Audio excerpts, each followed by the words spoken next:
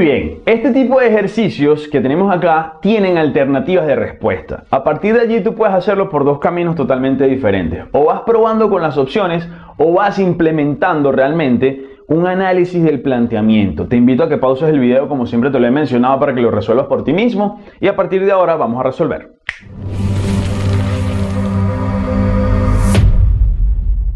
Ok, mira que te están pidiendo el valor numérico de una expresión. La expresión que te dan es 8 elevado a la n y eso se le suma 6 dividido entre el valor de n.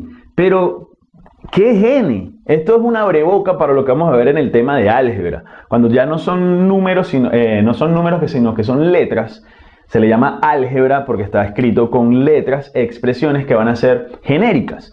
Pero aquí la idea es cuál es el valor numérico de esto si el valor de n es un tercio. Ah, ok.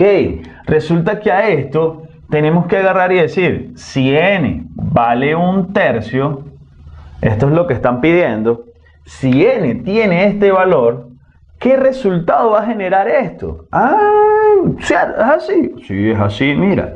Si n vale un tercio, quedaría 8 con el valor de n aquí que sería un tercio. Y a eso le vas a sumar 6 dividido entre quién? Entre el valor de n que es un tercio.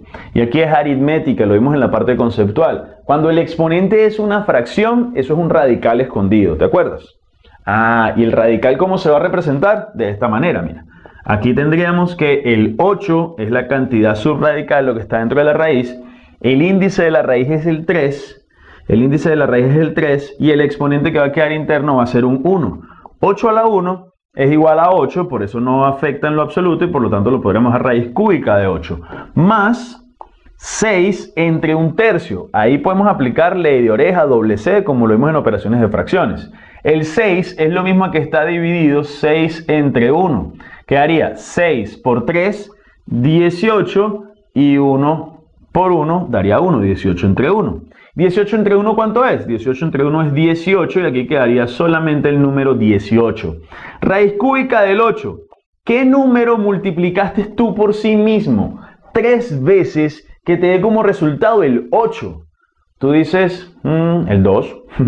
2 por 2 por 2 da 8. Quiere decir que la raíz cúbica de 8 es 2. Conclusión, eso es 2 más el 18. ¿Y cuánto es 2 más 18? Eso es 20. El valor numérico de esto cuando n vale un tercio es 20. Lo que hicimos fue sustituir n aquí y sacamos la cuenta. Mira que lo demás fue aritmética.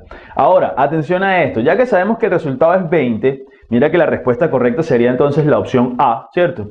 Que sería 20. Ahora bien, tú aquí, en este paso, en este paso que tienes aquí, tú podrías aplicar potenciación en vez de radicación. ¿De acuerdo? Ya sabemos que es 20. Voy a quitar esto un segundito. Y ya sabemos que esta fracción dio como resultado 2. ¿De acuerdo? Vamos a concentrarnos en este momento.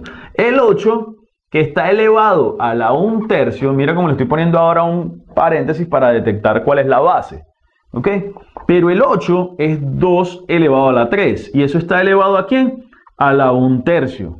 Si tú aquí aplicas potencia a una potencia, que lo vimos en las propiedades de potenciación, se multiplican los exponentes y quedaría el 2 elevado a 3 por un tercio. 3 por un tercio.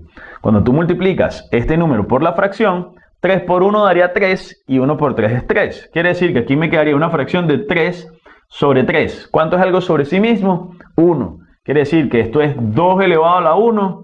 ¿Y cuánto es eso? El 2. ¿De acuerdo? Entonces, mira que básicamente esto nos dio 2 más, esto nos había dado 18, creo que te dije ahorita que daba 2, esto da 18.